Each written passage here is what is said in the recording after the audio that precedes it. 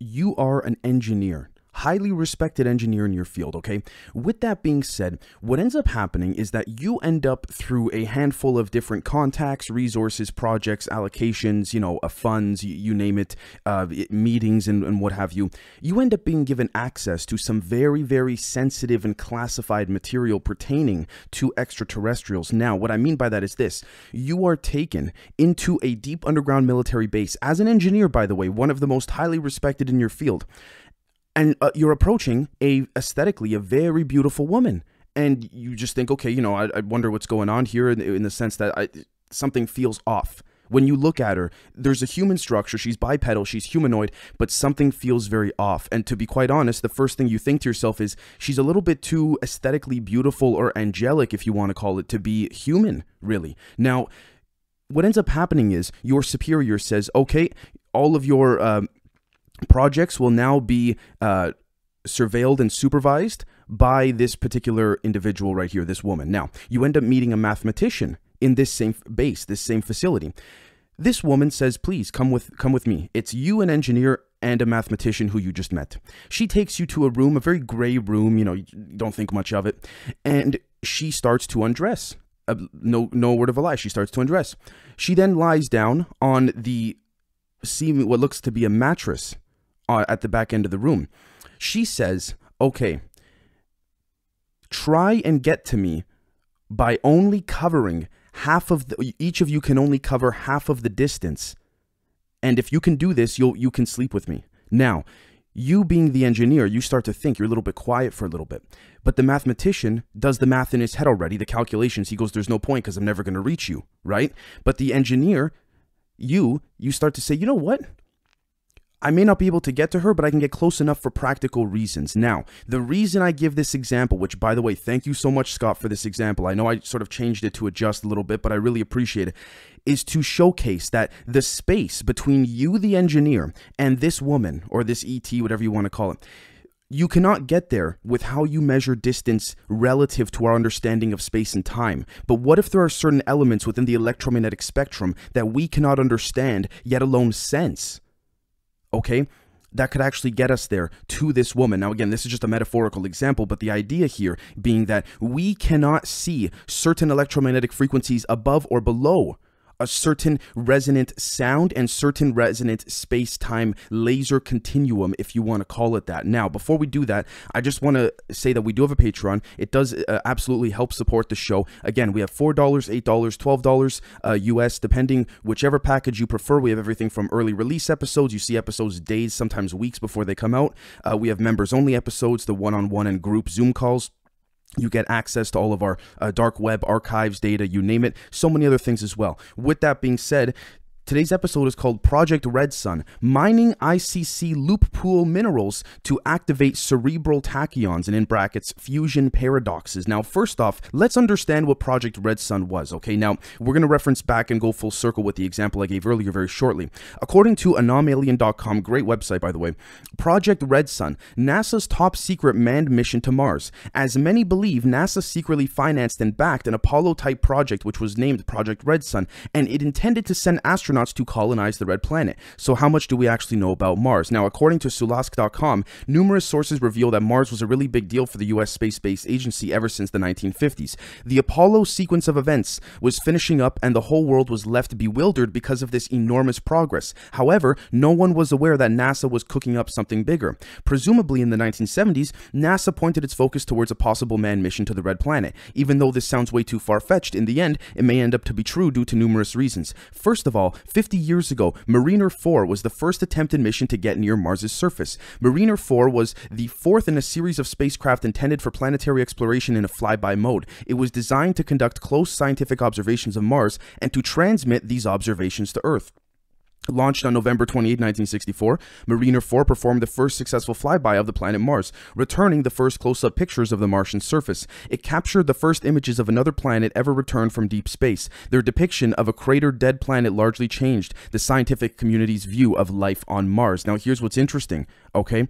Apparently, what they discovered made them con- convey the so called Project Red Sun. Their purpose seemingly was to settle the Red Planet. Their reasons did they think there was uh, some sort of extraterrestrial life there? Here's what's interesting as well, too. In 1971, one year prior to the last Apollo mission, Mariner 9 was orbiting Mars. It was able to snap its total surface, therefore, giving certain pictures that showed old riverbeds, a 3,000 mile long Grand Canyon, huge volcanoes, and additional artificial like formations. Take a look at the picture right here, folks. Mariner 9 view of the Noctis Labyrinthus or Labyrinth at the western end of Valles Marineris. Regarding all these facts uh, we mentioned, we can't help but ask the inev- inevitable. What happened between 1970 and 1976? Why didn't NASA openly speak they landed a craft on the surface until then?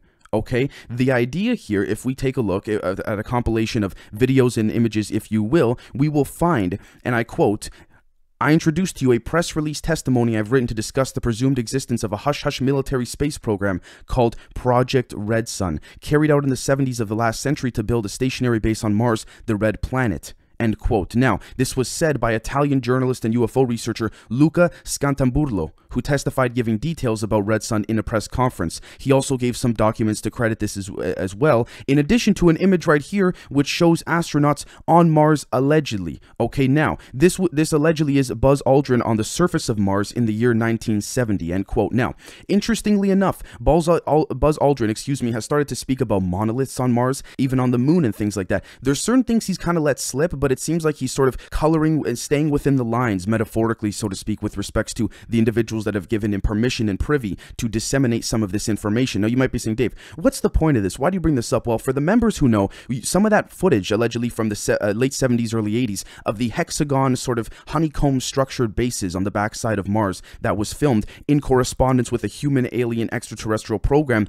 What's interesting is that we'll find the Nazis or the Nachtwaffen, if you will, they are the Dark Fleet, the Night Weapon, whatever you want to call it, allegedly established a deep underground military base on Mars relative to a deal made with the reptilians and the Dracos, with some Orion Greys serving underneath of the Dracos. How do we know this? If we take a look at en.swene.cz, what we see here is that Take a look, and I quote, this is according to Grigorovich Ivashov, again, Leonid Ivashov, quote, there is evidence that large German settlements were established in Latin America as well, and around Antarctica, virtually all the islands were German colonies. Yuri Ivanovich Grigorovich Ivashov, uh, excuse me, Yuri Ivanovich Drostov, our legal intelligence officer, writes in his memoirs how he swore allegiance to the Fuhrer. He was our Soviet resident in Latin America, but he joined the Nazi group sometime in 1948 in the XNUMXs when he was already uh, New Germany. He looked like an SS man and was forced to publish that he swore to the Fuhrer, and he emphasized that he's alive and that you'll find out soon enough. End quote. Now, the reason I, I bring this up so significantly and so strongly is because we need to understand the cerebral tachyons, okay? Now, let's take a look at this right over here.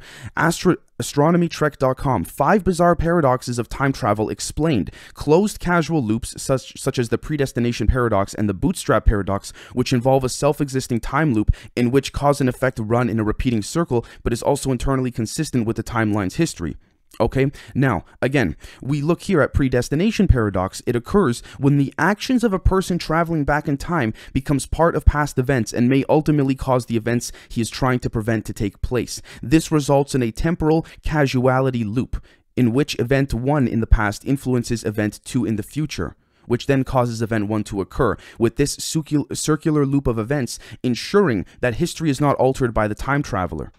This paradox suggests that things are always destined to turn out the same way and that whatever has happened must happen. End quote. Now, there's the bootstrap paradox, which is again a quote, I quote, a type of paradox in which an object, person, or piece of information sent back in time results in an infinite loop where the object has no discernible origin and exists without ever being created. It is also known as ontological paradox, as ontology is a branch of philosophy concerned with the nature of being or existence. End quote. Now, the bootstrap paradox seems to be substantiated by the alleged fact of, you know, the infinity symbol symbol with relative to that of crop circles and depictions within uh, languages and symbolism in Project Carrot, relative to the, to the description that all these whistleblowers have discussed when they've asked certain extraterrestrials about how they perceive time.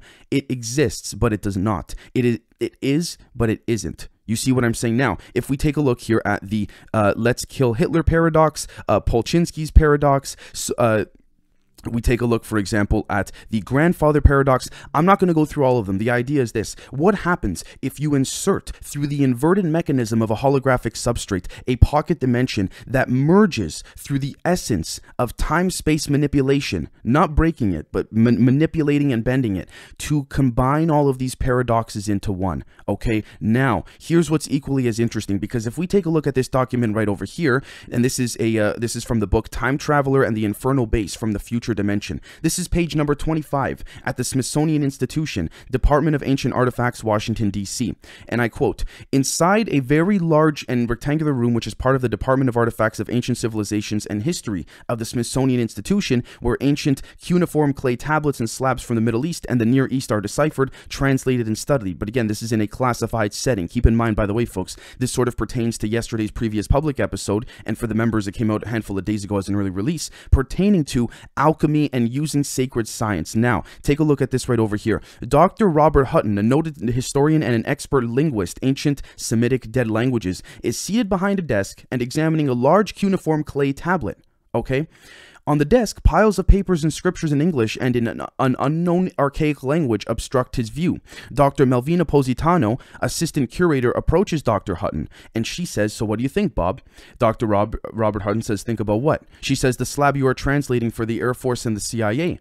D the doctor says they're not going to believe it. Dr. Melvina says, Do you believe it? What's so important about that particular one? You've translated dozens of tablets, if not more. Doc the doctor, uh, Robert uh, Hutton, says, 10,000 year old Melvina. Yeah, I believe it. Yes, I do. Compared the text, I compared the text with Akkadian, Phoenician, and Ugaritic. They all match. Even the MT tablet at the Vatican matches Anak. Dr. Melvina Positano asks, so this Anak is really the language of the extraterrestrials? Is this the language you were working on at the Library of the Vatican? Dr. Robert Hutton says, yep, the language of the Anunnaki who created us genetically some 65,000 years ago. Who told you I worked at the Library of the Vatican? Dr. Melvina says, you know people talk, Bob. How long it took you to learn Anak? And Dr. Robert says, a few weeks. Dr. Melvina says, come on, impossible, really? So it is true then what I've heard about you. Dr. Robert Hutton says, Heard what? What did you hear?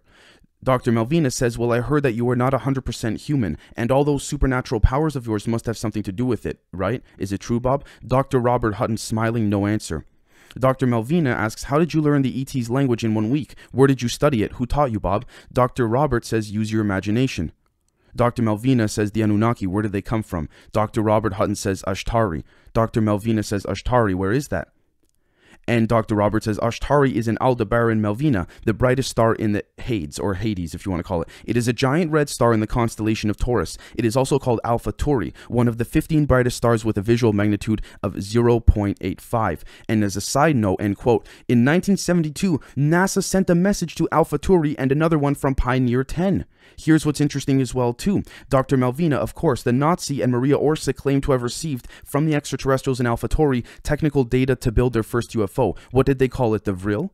Again, Dr. Robert Hutton says the Ginets Flugmasken, the Vril Flugscheiben. Ho- uh, pardon me if I uh, if I uh, end quote if I butchered that that pronunciation there. The point is this, folks. What we're going to notice is the preservation of certain stars, planets, exoplanets, you name it, pertaining to the color red is more than just simply a color. The color in which emits based off of the soil and composition of certain planets and exoplanets emits a particular frequency in which must be contained due to the fact that certain frequencies, ones that are emitted and uh, are being emitted from Venus, ones that are being emitted from Mars in a very ancient uh, esoteric esoteric prehistoric way due to the amount of damage that was done on Mars relative to CIA remote viewing documents and all that, describes the way in which there are certain cerebral tachyons to mess with and conflate, if you want to call it, different timelines. Why do I say that? Well, ICC stands for Interplanetary uh, Interplanetary Corporate Conglomerates. Lockheed Martin, Raytheon. These are human-run corporations that are mining on the moon, on Venus, on Saturn. They're using slave labor in order to continue this mining operation, and it is also also being done, by the way, if you take, it's also being done in Antarctica. In Antarctica, right? And we're going to notice as well, too, that if we take a look, for example, at this right over here, dailystar.co.uk heat map uncovers secret underground government base in Antarctica. A mysterious heat map has revealed a top secret multi-level government base hidden beneath Antarctica. And if we take a look over here, popularmechanics.com, US troops accidentally reveal secret bases by going jogging. End quote. For those that know this, it's a bit of a giggle. It's about a one to two year old story. But for those that don't know, folks, they wore their Fitbits in Antarctica in these underground bases. We're putting up the images now. You got to see, not just in Antarctica, but underneath the water in vast amounts of the oceans. And you could see them going in a circle. Now, it's been presumed on the public level that they were going jogging. But it's, again, it's quite more substantial to prove that we can actually suggest these are humans working within that of slave labor facilities in these deep underground military bases. Why do I say that? Take a look at news.mit mit.edu. Mag- this is from 2014 this could also be applied to something else that's going on in the world right now, but I don't want to say it for the sake of, you know, getting banned instantly. But magnetic neural control with nanoparticles. Customized arrays of iron oxide nanoparticles are possible based on their different uh, differing responses to alter- alternating magnetic fields, MIT researchers report. Take a look at this, and I quote Magnetic nanoparticles don't have to be one size fits all. Instead, individual magnetic particles can be tailored in an array of different sizing and compositions to allow for heating them separately by varying the frequency and amplitude of an external, external alternating magnetic field, end quote. Why is this brought up?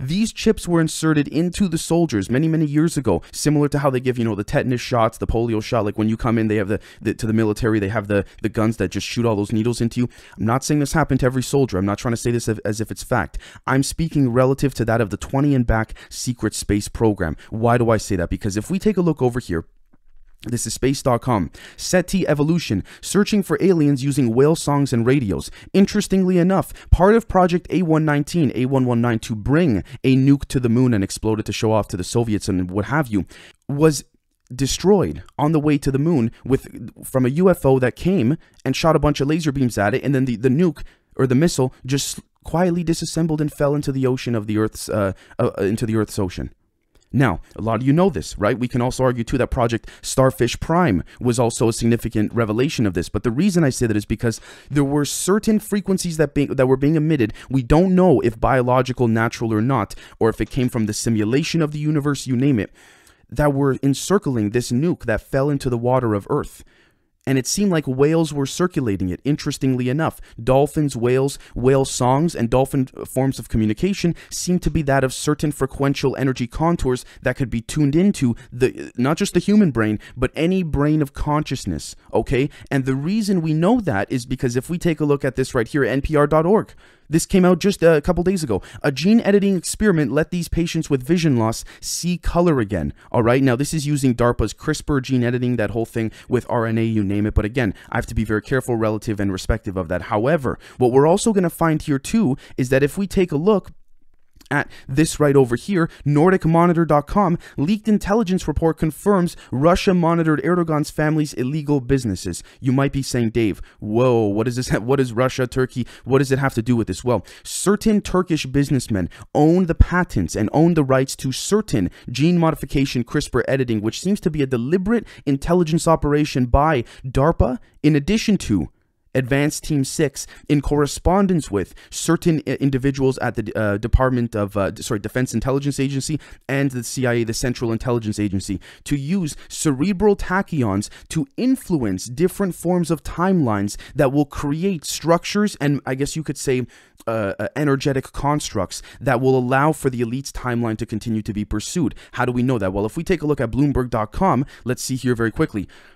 BOFA Bank of America outage shuts out thousands online. Service now restored because again it was it was updated, but at the time that the article was reported, there was a shortage. These small moments of crisis, crises, if you want to call it, allow for cerebral tachyons to energetically infuse the minerals that have been mined from the moon, from Jupiter, from Mars, from Saturn, from Venus by the ICC, the interplanetary uh, uh, corporate conglomerates, to create a form of nanoparticle tracking to figure out which one of us are fully human, which one of us are not, in addition to pushing their agenda forward in a way that does not disrupt the timeline relative to the mistakes that were made post 9 11 by the elites. And we can take a look, for example, at something like this over here very quickly. AncientCode.com. Buzz Aldrin confirms seeing UFOs on the moon. Now, here's what we're going to notice too.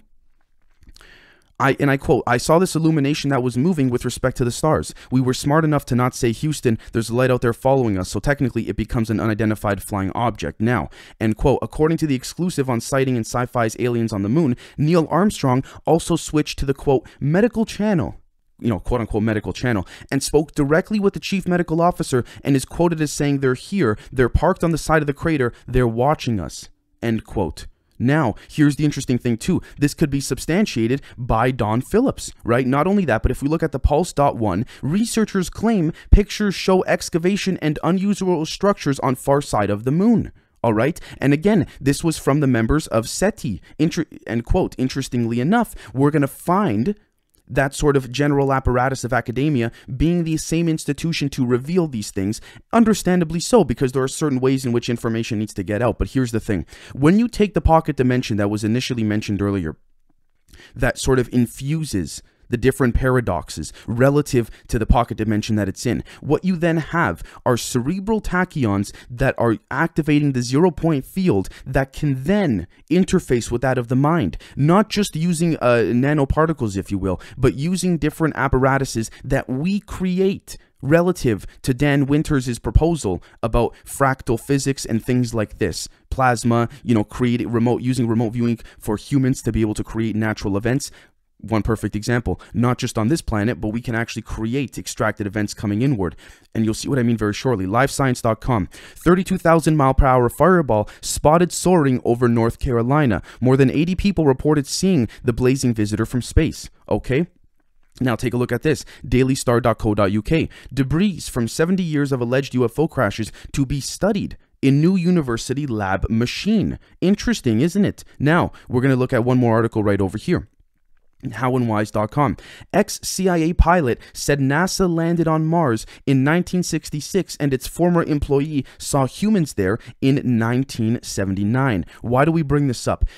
What's happening is essentially because mass consciousness is, is collectively growing, even at an incremental level on this planet, regardless of if some are human, some are hybrid aliens without even knowing it, some are, you know, the result of experiments, you name it we are indirectly and inadvertently causing, our minds are causing these asteroids, these hurricanes, these natural disasters to occur, not because we don't know what we're doing, but because subconsciously we are aware, but we are being suppressed. Now, the best example I could give is the film Get Out. If you remember the main character, when he's hypnotized, it's like he can see what his body's doing and what he's thinking, but it's like he cannot control it, right? Sort of similar to, I guess, sleep apnea, if you want to call it. It's like he's watching a TV of himself, but he cannot control anything because of the hypnotic regression he's in. That is what multiple forms of our subconsciousness are in, which is interesting because if you were to visualize it on a much larger scale and size it to scale, that would be the exact same way in which pocket dimensions using different uh, fusing excuse me the different paradoxes together would actually be able to work in a visual sense right now Take a look at this right over here, npr.org. Paradox free time travel is theoretically possible, researchers say. This only came out a few days ago. What are the odds? End quote. Why do I say that? Because you see all of a sudden how when these different paradoxes are being proposed, all of a sudden, no, no, no, no, don't worry about these different paradoxes. We, we, we could probably do it, you know, with, with without, you know, messing with the timeline and stuff. The, people do not see the underlying issue with respects to this in the sense that when mass consciousness focuses on one way that the mainstream media wants, what ends up happening is they then pull it in, pull the people into that direction, sort of like when you have a fishing rod, you lure the fish in. But then, once the fish gets to you, they don't eat the fish metaphorically. They don't leave it, they, they throw it back into the water because once the objective has been obtained, what is there to do from an energetic sense relative to what these tachyons, these cerebral tachyons are using to describe all of this. Now, the final thing I'd like to cover is this right over here. Uh, presidential UFO uh, blog.wordpress.com. The day the Navy established contacts, members will know that I did cover this, or sorry, I did post this in the Telegram chat, but on, on July 6, 1959, Robert Friend, an Air Force major and acting chief of the Aerial, uh, Aerial Phenomenon Division, or Project Blue Book, at Wright-Patterson Air Force Base in Ohio, received a call from another part of the intelligence community requesting that he evaluate a discovery by naval intelligence. Three days later, Friend flew to Washington, D.C., and met with two Navy commanders and several CIA officers. They began asking Friend what he thought of UFOs. I soon learned why they were asking, Friend told Second Look. They knew the Air Force often approached sightings with a jaundiced eye, expecting witnesses to be kooks. In this case, they were the witnesses. Now, here's the interesting as well, too. Interesting thing, excuse me. These intelligence officers who had called him to Washington began to unfold what well, be the mo- well, be, well may be, excuse me, the most dramatic UFO events in the annals of government UFO investigations. I don't think so, but again, relative to this time period, sure. During the preceding month, the two Navy officers had gone to South Berwick, Maine, at the request of a retired admiral to meet a woman there who claimed to be in contact with extraterrestrials. The officers met the woman and watched her enter a trance and become a communication link. The woman sat mesmerized, only her arm from the elbow down moved. It scribbled out meaningless circles interspersed with legible letters. They spoke uh, they spoke questions to which answers appeared within the scribbling. The answers indicated they were coming from a kind of space patrol leader named AFFA. According to the officers, so basically, long story short, folks, this woman was essentially, I guess you could say, hypnotized, or she was allowing these extraterrestrials, or they were activated her, if you will, using these cerebral tachyons, which is why I'm giving the example, to, to communicate through her, which is only one way amongst many that cerebral tachyons can work. But take a look. According to the officers, a number of unverifiable answers were offered to such questions, such as, What is the population of Jupiter? Among other things, AFFA said he and his men were part of an intersolar system police force investigating atomic test, uh, investigating atomic tests on Earth. Okay, now. But more interestingly, the Navy intelligence men posed questions incompatible with their education of technical understanding. Questions like what is the length of Uranus's day? And what is the distance between Jupiter and the Sun at Jupiter's apogee? Her answers were correct. The two incredulous investigators later reported to Friend. Now, interestingly as well too, AFFA's origin is planet Uranus, okay, or Uranus. AFFA said he and his patrol team members were four extraterrestrials officers of the OEEV, which meant Universal Association of Planets, assigned to EU or UENZA. URENZA's meaning Project Earth. Okay? It's among the more interesting interchanges later reported to friend were the following. Question. It's very interesting that we are talking with someone that we can see, but do you have can but can we see have proof of your existence? The answer through the woman was, "What kind? What kind of proof do you? Can we see you or your craft? When do you want to see now?" Go to the window, she says. All the intelligence people went to the window where they saw a UFO fly by, not stationary, but it was very close to them. As they later told Friend, it was saucer shaped and brighter around the perimeter in the center, end quote. I would then very quickly like to jump to bibliotecapleyades.net because again, we're going to see here a little bit more of that transcript has leaked, again, quote unquote leaked, but the questions asked after they saw the craft were Do you favor any government, religious group, or race? No, we do not. Signed AFFA. Will there be a third world war? No. Signed AFFA. Which, by the way, on a bit of a personal note, in a way substantiates my proposal, which is that I don't, I personally, I could be wrong, but I don't believe a nuke will ever be dropped again on this planet, at least relative to our timeline, because of the amount of alien beings, even the ones that don't like us, that know that nukes just create a, a clusterfuck, right? Or a catastrophe, not just in this in, in this dimension, but in others. Part of my English. Are Catholics the chosen people? No, signed AFFA. Can we see a spaceship or flying saucer? When do you want to see? Okay, go to the window, yada, yada, yada. Anyways, that was basically it. Now, there's more communication that goes on through this woman with the intelligence officials having to do with their craft, things like that, and how they speak about they can be aware of people's thoughts, you name it. But the point here is these cerebral energy tachyons could be used for both good and bad purposes. Right now, the ICC is using the interplanetary corporate conglomerate uh, mineral mining processes to harness slave testing uh, sorry, uh, uh, um, relative to the testing that went on in 2014 that the article showed there with nanoparticles using electromagnetism, magnetic frequencies, again, sound waves, light waves, you name it. Okay, and then if we take a look at the way in which sacred science, relative to the book, uh, the, the PDF we just looked at, we analyzed with the book having to do with the tablets of the Anunnaki, doesn't surprise us that this type of energy is available. So again, folks, I know this is quite extensive, but please let me know what you think, and we'll catch all of you very, very soon. Cheers.